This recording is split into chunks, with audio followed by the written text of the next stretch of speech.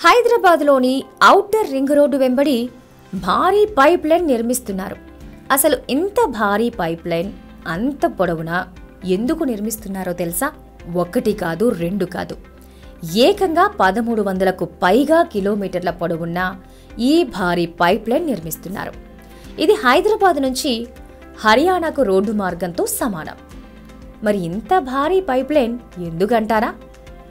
శరవేగంగా అభివృద్ధి చెందుతున్న హైదరాబాద్ నగరానికి కొత్తగా వచ్చే జనాభాతో పాటు నగరం చుట్టుపక్కల ప్రాంతాలు సైతం నగరంతో అనుసంధానం ఏర్పడటంతో గ్రేటర్ హైదరాబాద్ పరిధులు దాటి విస్తరిస్తోంది. దీంతో జేహెచ్ఎంసీ దాటి ఔటర్ రింగ్ రోడ్డు వెంబడి నివసించే ప్రాంతాల ప్రజలు చాలా కాలంగా సురక్షిత మంచినీరు అందక అనేక ఇబ్బందులు పడుతున్నారు.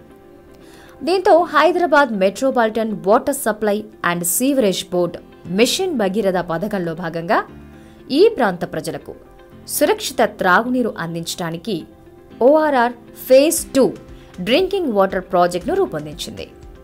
ఈ ప్రాజెక్టు పనులు చేపట్టిన మెగా ఇంజనీరింగ్ సంస్థ నలభై రెండు రిజర్వాయర్ల నిర్మాణంతో పాటు ఆర్సీపురం రాజేంద్రనగర్ పటాన్ చెరువు బొల్లారం కుత్బుల్లాపూర్ షామీర్పేట్ మరియు మేడ్చల్ వంటి ఔటర్ రింగ్ రోడ్డు సమీపంలోని ప్రాంతాలకు త్రాగునీటిని అందించడానికి దాదాపు పదమూడు వందల కిలోమీటర్ల పైగా పొడవైన పైప్ లైన్ నిర్మిస్తోంది.